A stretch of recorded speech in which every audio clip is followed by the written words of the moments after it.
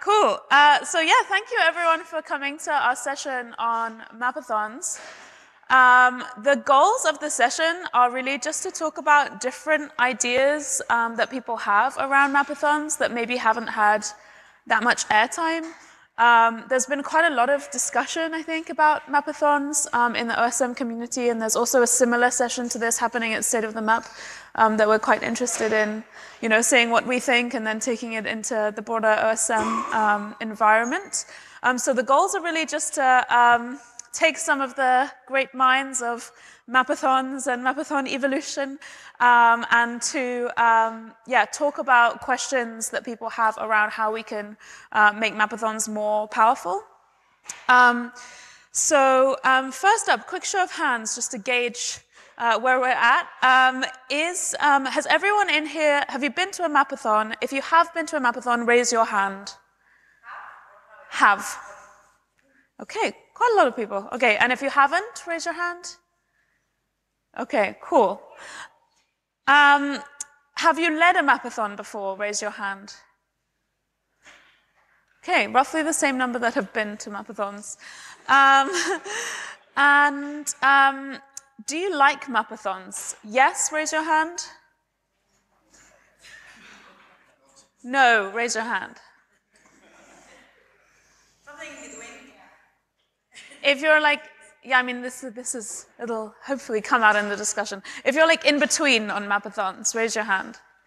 In betweeners. Okay. Um, any other questions you want to get a sense check on? Okay, who goes to the mapathon to go to the pub after the mapathon? Raise your hand.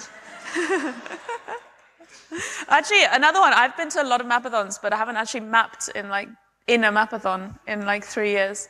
Um, so, okay, um, we're going to kick off with a couple of questions um, which are targeted at the expertise of different um, people on our lovely panel. Um, and then we're going to open up to um, just questions from anyone, and this is really intended as more of a discussion, random ideas you've had, random challenges you have, um, possible solutions can come from any side of the room, so this isn't all focused on um, these lovely people. Um, but really quickly, if you can just introduce maybe yourself and um, what you're doing with regard to mapathons, and then we'll get started. Um, okay. Uh, I'm Jorieke Vyncke. Uh, I'm working for MSF, Médecins Sans Frontières. Um, I'm based in the London office and I'm coordinating missing maps from there, missing maps from mapathons to field collection data and making our teams using the data uh, we are collecting. Um, so in relations to mapathons, the closest relation is to the London Missing Maps community, where we have every month a large mapathon and every month a small mapathon with the experienced mappers, the small mapathon. And then also further uh, within MSF, we also try to uh, help our teams and just uh, yeah, our MSF offices and teams and people who are interested um, to help them coordinating, organizing mapathons to get data. I'm Emmor Nile, and I'm a GIS Corps volunteer supporting the Tanzania Development Trust. Uh, Janet, raise your hand if you don't know her. And I uh, set up the, the HOT projects, and uh, at this point, I've got about 50,000 tiles that still need to be validated, so I'm looking for help. Um, and I've been involved in uh, probably 10 different types of mapathons, whether it was a GIS days, a professional group, a lunchtime brown bag session, uh, universities, uh, professional societies. And uh, so it kind of surprised me how many different types of mapathons I've been involved in.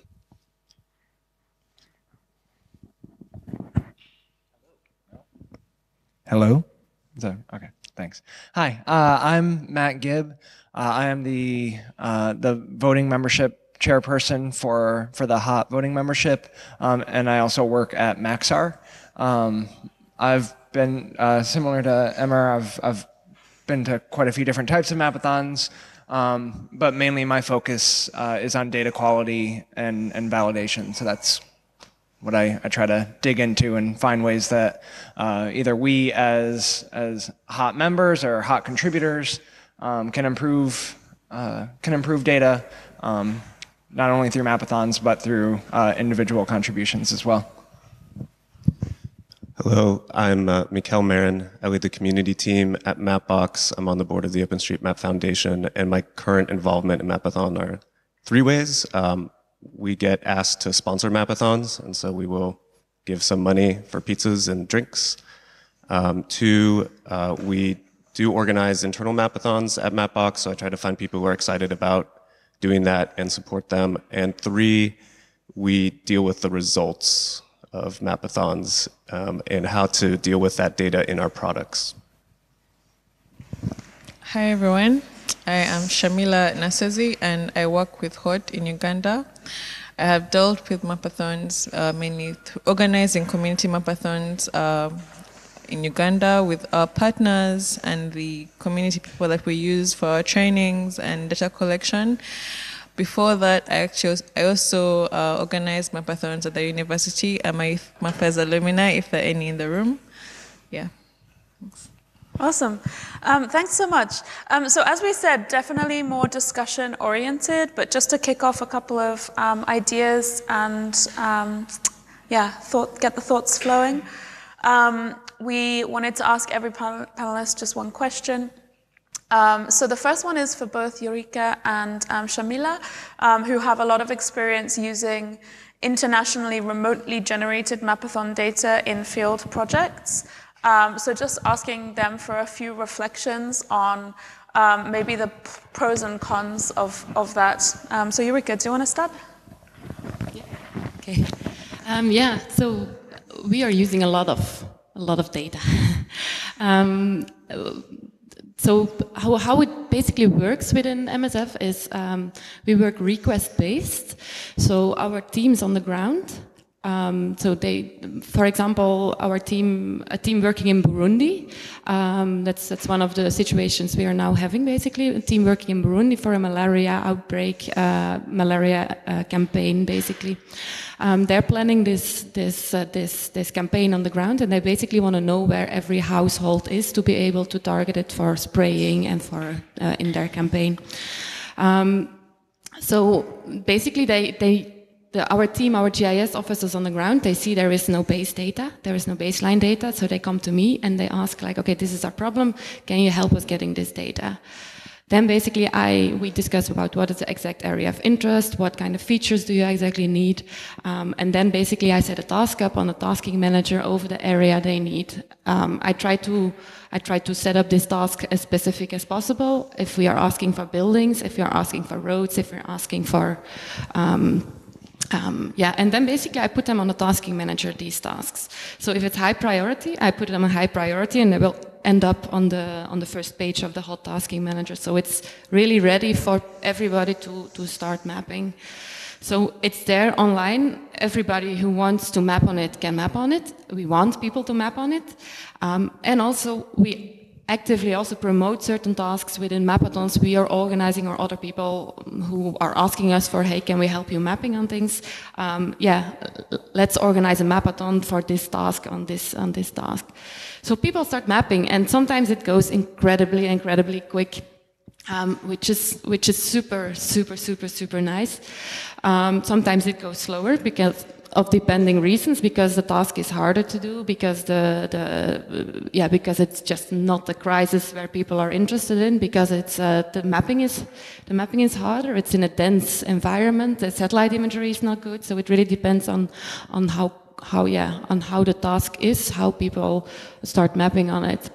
But then basically the result is we use this data. So as from the the data gets mapped it's immediately on the map. We start using it in a lot of situations. So it's not that we wait for it to be completed. Sometimes in some, in certain settings, we will wait for the map, uh, the data to be completed, but other uh, settings, we will just start as from one building is added on the map, we just start using the data as from right now. It doesn't really matter that, that some some, some things are not yet mapped or some things are not yet ready with validation because we desperately just need the data right now in, in some situations. Then something, having something is better than having nothing and not knowing where populations are or how to reach them. So we use the data, we use a lot of data. Um, the quality is not always as, as high as a real cartographer would wish, but for our operations, data is better than no data. In certain situations, like the one now in Burundi, we really need to have all the houses. So there, for example, validation is important and really checking up on the, on the data is important that we capture really every house um, in this area. So there, there is really a, a focus also on trying to get the outcome of this task as best as possible to be able to use it for really the purpose of every building in this area uh, to have. So this is one of our examples of how we use uh, data. But yeah, just for you to know, we use this data every day. I mean, data is created everywhere in the world. We just we just use it in in in our operations. So yeah. Thank you, Jorieke. Uh, so for, for my case, uh, we use the data that we generate from the mapathons uh, in our field activities. We do a lot of field mapping, so in case uh, we need, say, to go to Western Uganda and we first check on OSM, what data do we have available? In case we find any data gaps, we, are we create uh, projects in the tasking manager and request the volunteers to map uh, over our social media channels, and thankfully, very many people respond. Uh, the biggest I think we've had uh, so far was we were trying to generate base maps for all the refugee hosting districts in Uganda. We had people contribute to over 11 districts, and this data is not right now available for other partners as well as ourselves. So maybe my issues with, uh, I think, with mapathons is sometimes people, I think we mean well, but we forget to tag things correctly. For instance, if someone tags a road as a major highway and you're in the field, the apps we use are going to send you to a smaller road. You know, it shows you on the map it's a very big road, so your car, can, your van can pass, but when you actually get on ground, it's a footpath. So I think we need to, there's a need to let the community know that people are actually using this data. Don't just come to the mapathon and trace things and you think that's the end. There's someone else who's going to use this information to maybe direct teams on the ground and yeah, use it for other maps and other things as well. Perfect. Um, so then the next uh, question we wanted to ask um, was to Mikel and Emmor, who both have quite a lot of experience in um, the creation and evolution of the Mapathon, um, and asking kind of, do you think that's a concept that we need to improve incrementally, or do you think it's something we need to re-envision and kind of replace with maybe a different, a different thing? Um, and so, yeah, just interested on your reflections and suggestions on those. So, I have a question. Um, how many of you have run a marathon? How much time did you train in order to run a marathon? Years. when we mapped um, Haiti after the earthquake uh, in, in 2010, um, I would say probably everyone who contributed was already a, quite involved in OpenStreetMap um, for several years and, and, quite familiar with, with how to do it and with the community. Um, now that's certainly in, in, no way the only way that you are supposed to enter OpenStreetMap and HOT. Um, but I think um, we don't always in mapathons um, apply the uh, or have a common understanding of the standards by which we expect um, and the kinds of results we have. There's a, many different objectives within mapathons. One is engagement, which I think is very valuable. Um, and then the other is data, but then as we've already heard, there's various forms of data. Sometimes just knowing where a house is, no matter how scribbled it is, is useful. Um, then there's OSM's actually relatively low standards. Let's not forget that OpenStreetMap is not like a bastion of geographic orthodoxy. Um, it's a wiki and things get improved, but there's certain like expectation for each step um, that, uh, as at least as a starting place, which is well below what like professional data gathering and cartography expects. Um, so there's different needs uh, from different sets of users um, and we don't all have the same sets of expectations. So I, for one, think we do need a fundamental rethink of how we do these events. Um, I'd even go, I, I won't go this far, but I even think maybe we should just change the name so that it really signals, once we've gone through a, a process of like reevaluating how to do this, so that no one is doing things wrong anymore. Because it's very, the genie is out of the bottle. It's very hard. How many mapathons are happening all the time? How do, and to what standard? It's very hard to manage. Um, but we need to really like fundamentally re- reevaluate. And um, my final thought on this oh, leaderboards are actually a big part of the problem uh, here because it incentivizes as creating as much data as fast as possible, and that is a sure recipe for degradation of quality. So, while I understand like the excitement of that and how motivating that is, I think we really need to think about better ways of evaluating the contributions. Maybe you don't get a, maybe only after it gets validated do you get your points on the leaderboard if your data is correct because it's incentivizing um, uh, bad data and bad behavior. So I have a question. How many of you in your career path in front of you as you envision it have janitor as a part of that task, that, of your career? I mean, do you, do you like to clean up toilets or pick up trash, rubbish, garbage? Not many people raising hands. I, I think that uh, when it comes to mapathons, that there's, there's a corollary there.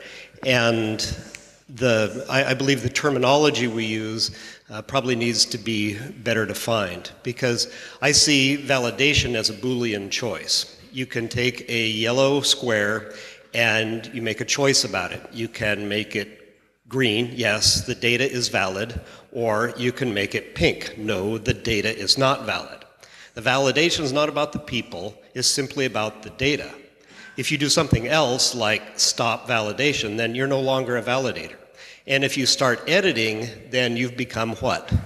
The janitor. You're cleaning up the poop that somebody else left behind as a part of a mapathon. So I would say that you know the second part to validation is that it's not coaching.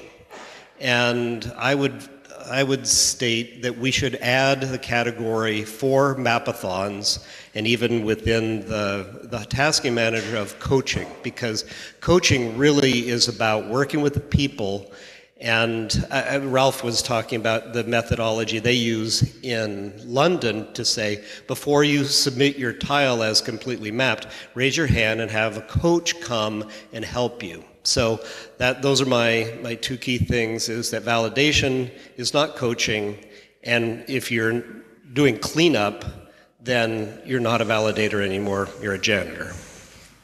Okay, um, some varied opinions. Um, so then the last uh, question before we open up for um, thoughts and ideas from the audience is going to be for Matt. Um, and if you can maybe spend just like 10 seconds on what a voting member is for the people that don't know.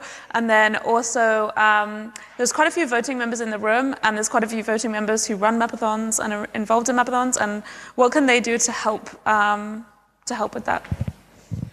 Um, so a, a hot voting member uh, is a volunteer who has been uh, nominated by a current uh, voting member, um, and they are involved uh, in the governance of the humanitarian OpenStreetMap team. So they elect the board, um, they help uh, drive discussions uh, in the direction of the board, They've, they help write the strategic plan. Um, so hot, hot voting membership um, is really about the governance of the organization uh, through leading working groups and um, and being uh, sort of leaders in our own local community, um, as recognized by other other members of the community.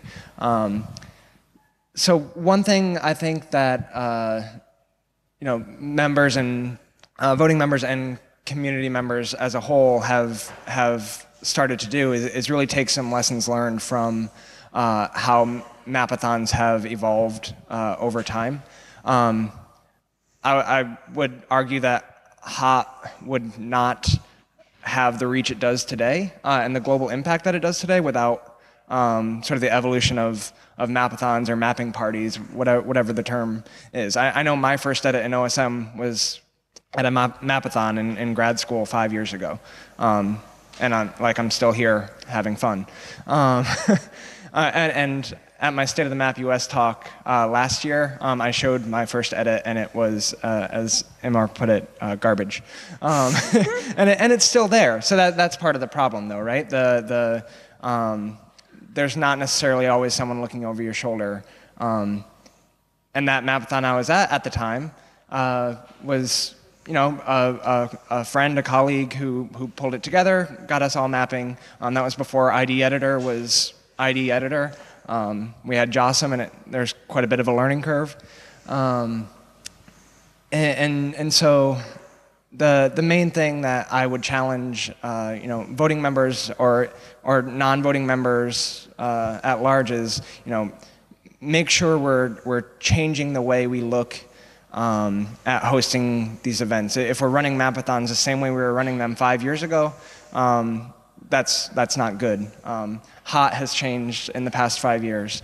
Um, we now have 189 voting members versus the 20 or 30 that were there only three or four years ago. Um, so it's a huge increase and it's a testament to um, the, the global work that HOT is doing. but, but we need to always be on the lookout for um, new validation tools, um, new ways to, to reach to new mappers to get them that initial feedback. So I, I would actually disagree with what you said, saying that uh, validation is not about the mapper. Um, I, I, would say it's, it's all about the mapper, um, because if we don't give users uh, that initial feedback saying, hey, this is wrong, uh, even if it's an automated message uh, in JOSM or ID um, saying, this is wrong, maybe you should fix it, um, then you know, they're, they're not going to improve, and therefore they're going to keep creating uh, bad data. That's what the coaching is. there was one really interesting question you brought up that I've actually never seen any data on. So, with a sample size of this room, put your hand up if your first edit in OSM was at a mapathon. Okay, so actually most people came from outside mapathons, I guess, in this space. Um, so yeah, now we just uh, wanted to um, yeah open up for questions and ideas. Um, and Jennings is going to run a mic around, and please wait for the mic to get for you so that the lovely people joining us online are able to hear. Um, so Tyler. Yeah. Hey, th thanks everyone. Um, one question, what does your ideal mapathon of the future look like? Where will it take place? What will people actually be doing in the mapathon? What devices will, be, will they be using? Thanks. Let's take a couple of questions and then people can answer whichever ones they want. Oh yeah, I'll, I'll write them down. You're going to ask a couple and then we'll And then you, you answer like one of them okay. each, yeah. This is sort of more of a comment, but I wonder if like all mapathons should have validators in the room because then people are going to get immediate feedback uh, and also the data will get fixed. There was a study by someone, Martin Dittus, who's probably, maybe he's here, uh, where if someone gets the feedback like within an hour of their first edit, they're way more likely to return and keep mapping, which probably means they'll get better and continue to do good stuff, than if they get uh, feedback you know, within a few days or weeks or never, they probably won't come back. So I wonder if that's some way to contribute to good data quality and also retention to have people coming back and, and doing more, is have people actually validating physically in that same room as the mapathon. Um, and one more for now. You can run down here if there's, oh, go there and we come here afterwards.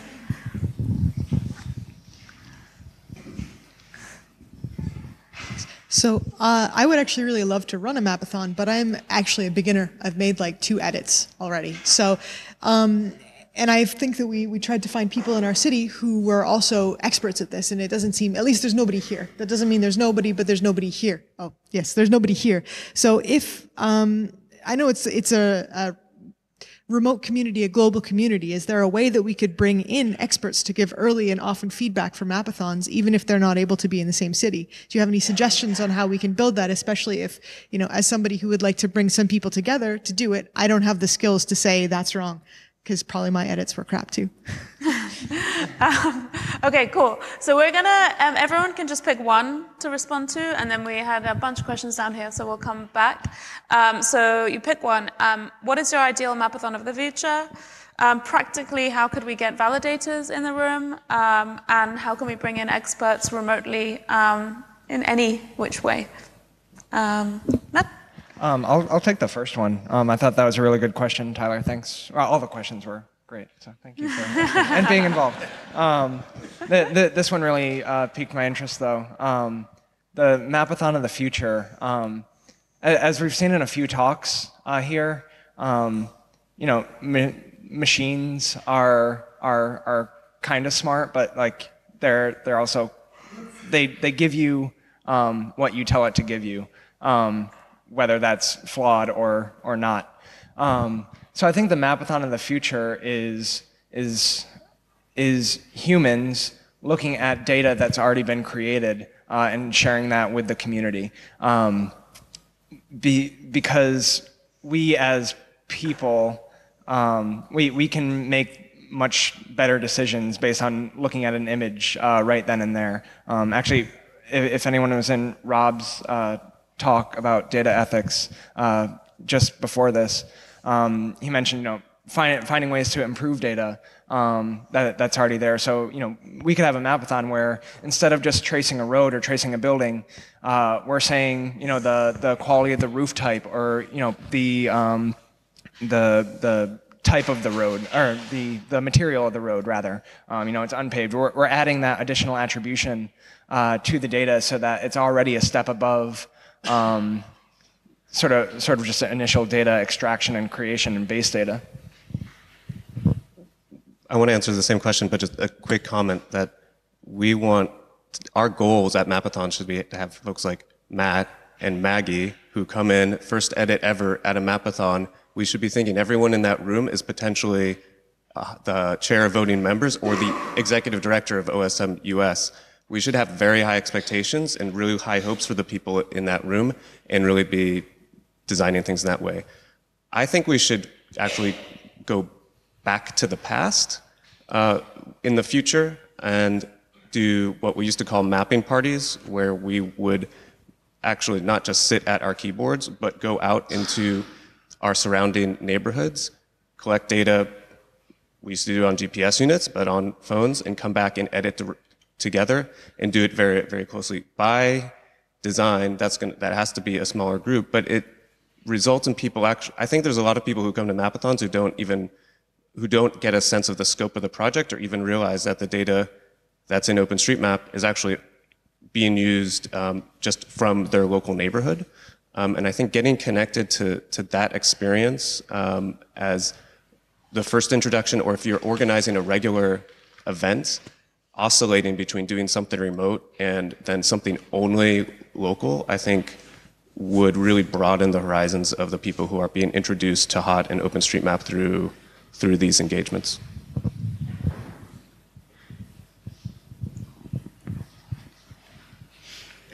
We have Andrew's question.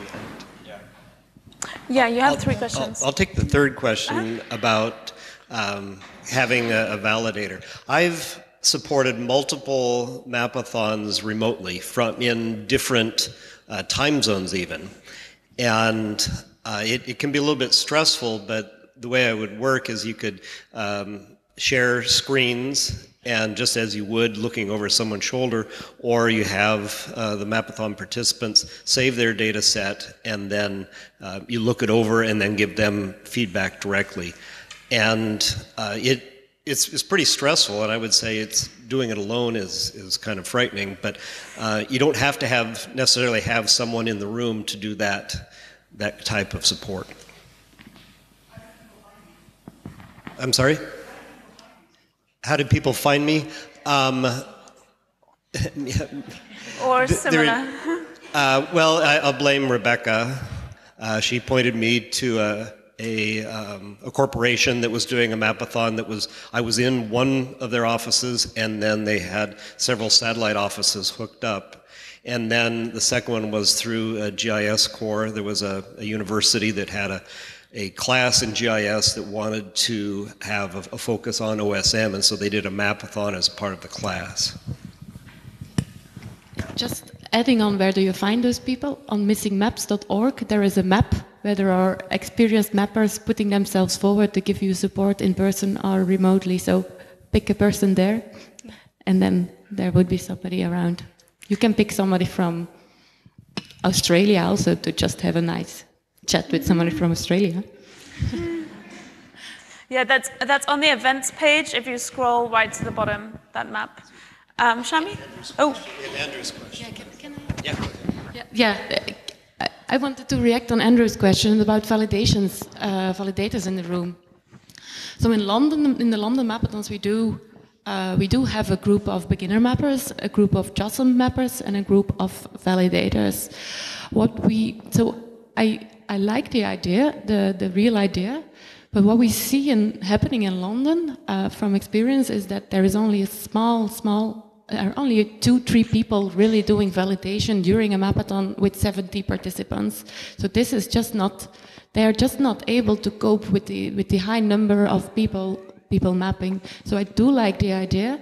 Um, the, the best thing is still like, I, I do, in, in, in theory, I do like the idea, but the, yeah, it's still, not really working out. Also because people are sitting behind their computer and the validators are sitting behind their computer. So there might be some messaging from one computer to one computer, but still the best feedback is still the personal the personal feedback. That's also why I really like this latest idea, which was coming from Ralph, about okay, the um, let's let's just if you have mapped a square, raise your hand, and there is really a person coming to you and help you validate your squares. So there is immediate feedback uh, in that way. So this is something we start to experiment now with in London, and we're I'm really curious to see how how this will go go forward. So validators in the room, but better like real personal validators than just clicking validators.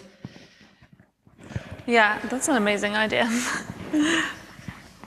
I think maybe just just to add uh, on what Jorieke said, if you are organizing a mapathon and you're wait, like maybe looking for validators and maybe like the local OSM experts in your community to contribute, if you say maybe send out a tweet or something like that, some, I'm very sure someone is going to reach out to you. And maybe also to encourage the, when you're organizing a mapathon, like in the mapathon itself, you should try to buddy up like the new mappers with the old mappers to make sure that we do not leave them behind. I know it has happened to me before. Sometimes you will find yourself tiptoeing around the new mapper. You don't want to frustrate them so much. I mean, you want them to come back for the next mapathon. So, but it's also important to emphasize that the quality is needed. Like my panelists mentioned, that we have to, we need to have high expectations of our new mappers as well. Thanks. Can I, can I just add one quick thing that's responding to like a ratio of 70 new people to three validators or more experienced people? We should have the discipline to like not have 70 people. Like if it becomes too many that we cannot manage in the way that we want it to be done, we should find ways of limiting those numbers, whether it's we have a sign up and you know there's a certain number you have to declare your experience level and there's a certain number of slots of course not all those people show up but you choose a number where you with a certain amount expectation of attrition cor- correlating to the amount of experienced people and validators who actually manage to do a, a good event Um, I think Andrew had a quick comment, and then we can run the mic down here because there was a group of questions. Um, so Yeah, I, I think all these are, are good ideas and like nice solutions and stuff like that. And but a lot of them like I've never heard of before, you know. And I've done a lot of mapathons. I've led mapathons, validation, whatever. Like, how is there some way to get people who are a brand new mapper or want to run a mapathon to know all of this stuff and make sure that their validation has coaches and they know where the tools are, they know where the map on the website is, and they know where all these things are, instead of just, oh, I'm going to get a room and do some mapping and it's neat. Like, how do you make those those people who run the mapathons, who are brand new to everything and maybe aren't humanitarians, right? How do you get them to do like an awesome job? What's the best way to do that? Yeah, that was kind of the point of having this session in a way, was those ideas, but I definitely agree that there needs to be like a way for you to learn that if you're already hosting um, a mapathon. Um, yeah, a lot of this falls into me for, it's like, you know, what's the best thing about OpenStreetMap? Anyone can edit. Like, what's the worst thing about OpenStreetMap? Anyone can edit. And um, like, you know, it's a beautiful thing, but clearly we need to control it a bit more. Um, so, okay, let's take three questions and then um, respond again, and then we can go back. Hi. Is there already a conversation with all the awesome organizations hosting mapathons where we can share all the materials being created? Um, and all the tips and tricks. And so that way we have a really effective strategy on how to recruit and retain members. Um, Maggie had one, and then Ralph, and then. I'm going back to the to the first statement Mikel made about data and engagement being our objectives of a mapathon. And do you think it's time we think of our rethink our objectives? Uh, because to me, it seems that those two objectives are really conflicting. That we're not going to get engagement and quality data at the same time. So maybe setting those goals ahead of a mapathon and thinking what you want to come out of it. Is it education? Is it engaging new mappers? Is it mapper retention? Just kind of a thought there. Hi, my, my, question comes back to um, the future of mapathons, and uh, Matt and Mikel um, touched on what I'm going to ask now, and I think you've also touched on what I'm going to ask now. Um, previously, when, when mapathons first started, uh, we I, I remember, and I think many others might remember, that we actually trained the mappers on everything and taught them buildings, roads, waterways, land use, and went through the whole gambit of teaching them how to map. Um, mapathons have evolved further down the line and have changed, and uh, the actual projects that are being created have changed. And the projects coming forward now are things like buildings only, or buildings and roads, or roads only. And the mapathons that are created are to try and clear those projects. So people at mapathons get trained just on buildings instead of the whole gambit. Now, at validator level, I'm seeing the effects of this. And the, the, the, hap the happening is that people are becoming advanced mappers, but may never ever have drawn a waterway or a land use. Um, uh, at best, you, they've done some roads and lots of buildings. And we've got a lot of advanced mappers who are only buildings. um, is it time to, to have a look at mapathons and change them back to training people to map everything in relation to each other and in alignment with each other rather than training them just to do buildings to complete a project? Uh, ben, did you want to quickly add or? Oh, okay. Well, it was just because I think this might be our last round, and then we're going to have to continue this at lunch. Um, because if we miss lunch, we might get um, unpopular. Um, so your three questions, pick one of them, um, and if we go quickly, we can do another round. Um, so one of them, having a conversation about OpenStreetMap Mapathon best practices between everyone involved. Second one, um, should we have different and broader objectives or perhaps different objectives for each Mapathon? Third one, are we teaching people too simplistically? Um, so maybe, Jorieke, you could kick us off? Um, sure. I think I pick on, on uh, your question, Maggie, um, because already in, in, in, London Mapathons, we actually, yes, one end data for me is really a goal to get data, um, but on the other end also community.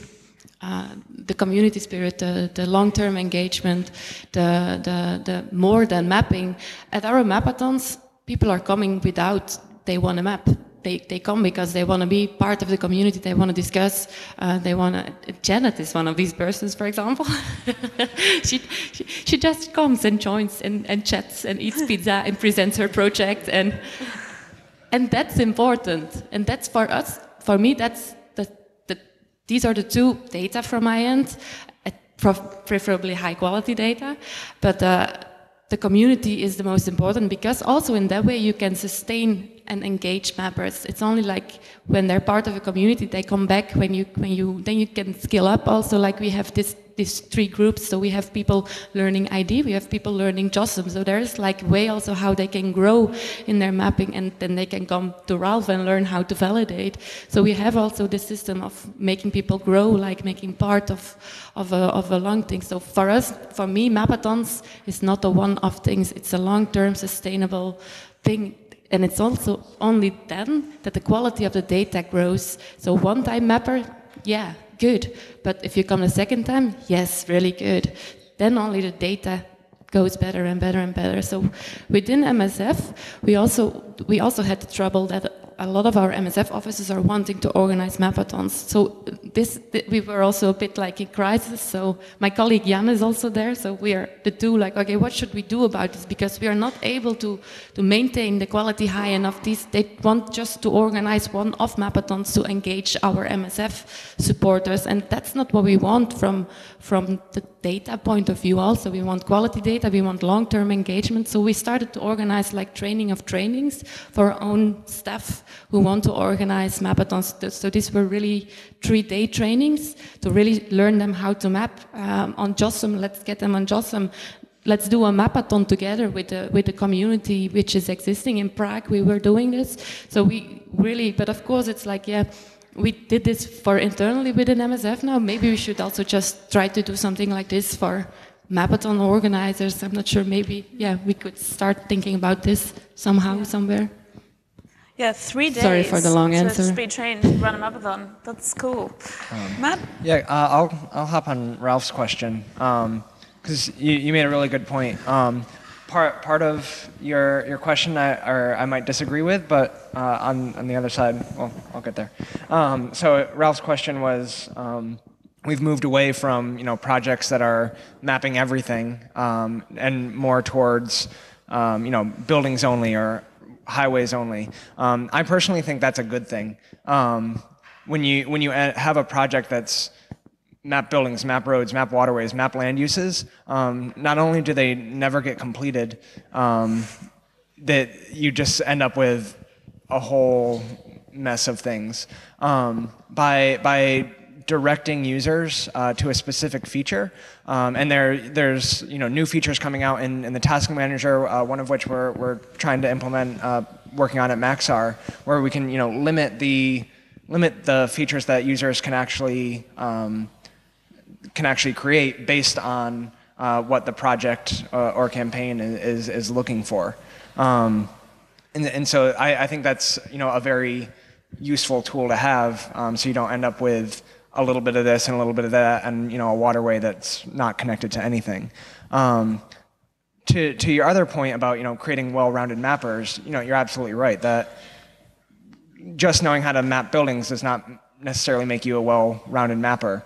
Um, but we need to be able to point users to either resources to learn more because you- you're not going to learn everything in a 90-minute mapathon. Um, there has to be some expectation that uh, people can, you know, take things and run with it. And not every mapper is going to return. Um, but if you get, I don't know, what's what's a good number? 20% to to return and be a repeat mapper? Like, do we want 50? I I I don't know what the number is now, but it's probably a lot less than that. Um, you know, getting people to sort of um, become interested, use use the mapathon to you know hook them in, um, and that that's actually how I I kept continue mapping. I, I was unemployed, and I'm like, oh yeah, the, that OSM thing was kind of cool, and that, so I just mapped my hometown from. Uh, from my parents' couch while I was being lazy, um, but it, but it worked. Um, and, and uh, you can't put that expectation on everyone, but having people go out and start to explore the wide world of OSM, which is a whole other thing because it's very decentralized, but it's also centralized. Um, but there's a lot of tools that people don't know about. So even having combined resources, um, which was sort of another question as well. Um, you know, the Missing Maps site does, has some resources for starting to map uh, or learning how to validate. Um, so having a more central repository for just an entryway to OSM in general, um, I think is really helpful because the wiki can be difficult to manage too.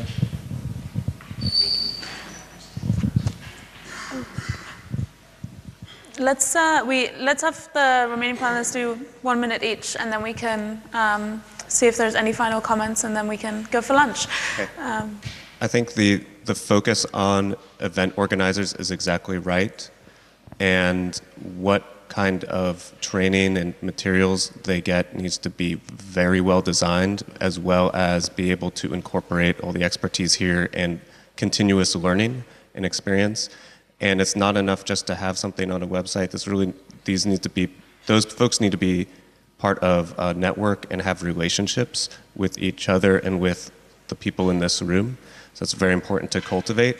And those organizers as well need to have a broader basket of things that people can do.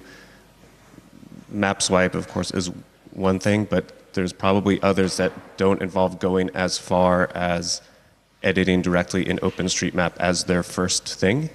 Um, so that's worth thinking about what else event organizers can offer to people who are coming new to, um, to HOT and OSM.